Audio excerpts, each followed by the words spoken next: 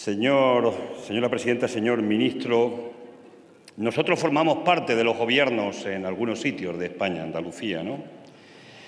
Y hemos formado parte de gobiernos en Cataluña, pero el poder fiscal, el poder coercitivo de los impuestos, la capacidad normativa para poner impuestos, para que no se hubiera producido esa desfiscalización de la hacienda pública, no la tienen las comunidades autónomas.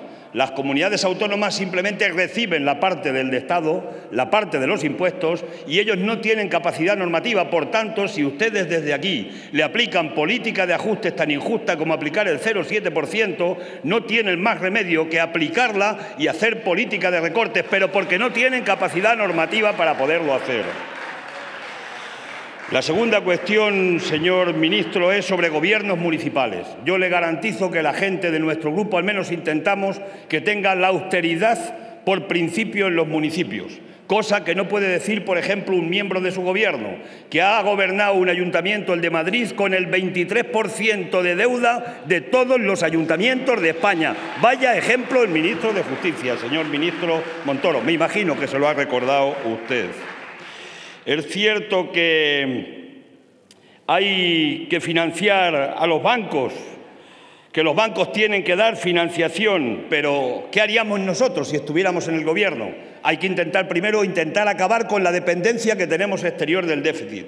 Y esa no se resuelve con recortes, esa se resuelve con la lucha contra el fraude, la economía sumergida y con una reforma fiscal progresiva, como le he dicho anteriormente, y de esa manera acabando con la dependencia económica, acabamos con la dependencia política y tenemos más independencia para hacer planteamientos a Europa, incluso de renegociar la deuda y los intereses que consideramos ilegítimos en esa auditoría que estamos pidiendo desde nuestro grupo político.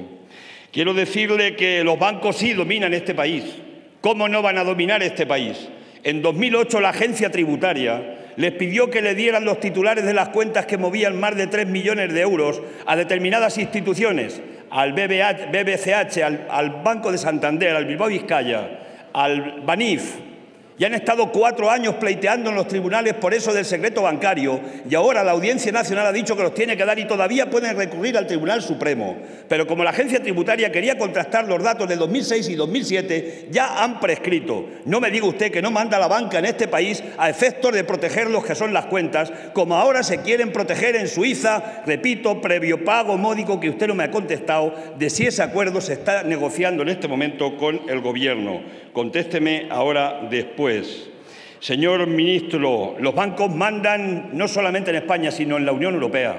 ¿Por qué el Banco Central Europeo no le da dinero y compra deuda directamente a los países y sí le da dinero barato a los bancos para que los bancos especulen y negocien con la deuda soberana? ¿No es eso mandar los bancos en el Banco Central Europeo, en nuestro propio banco? Mandan allí y mandan aquí, y usted lo sabe, señor ministro.